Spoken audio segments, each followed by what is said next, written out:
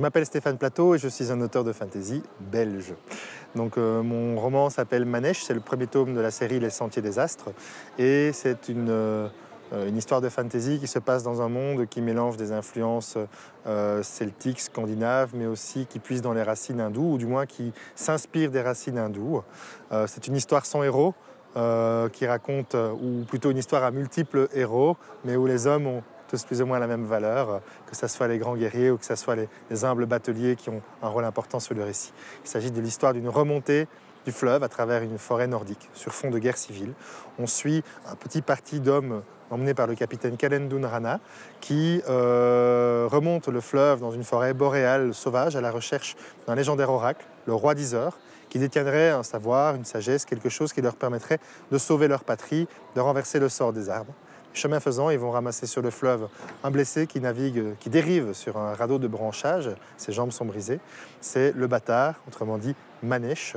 Euh, et comme sa présence à des milles et des milles de toute civilisation est pour le moins incongrue, le capitaine Rana va demander à son second, le barde, notre narrateur, de recueillir son récit.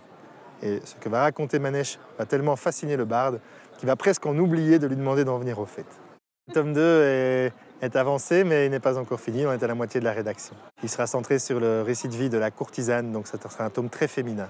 Euh, en attendant la sortie du tome 2, il y a un petit encas euh, qui sera servi, euh, je pense, aux alentours du mois d'octobre.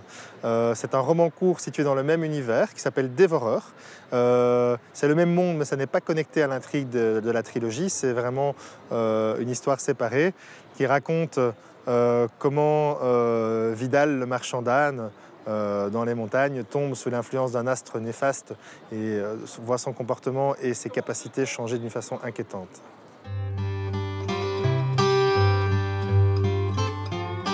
J'aurais envie que tout le monde ait lu Tristan et Iseux parce que c'est une histoire d'amour euh, beaucoup plus fine euh, que par exemple Roméo et Juliette et d'autres, parce que c'est la vraie vie, les personnages évoluent, leurs relations évoluent, elles passent de la passion à l'amitié, parce que euh, aussi il y a du pétillant, il y a de l'humour, il y a cette complicité des amants qui crée des astuces entre eux, des privés de jokes, et que c'est pour une histoire d'amour tragique, c'est quelque chose de très drôle et de très vivant.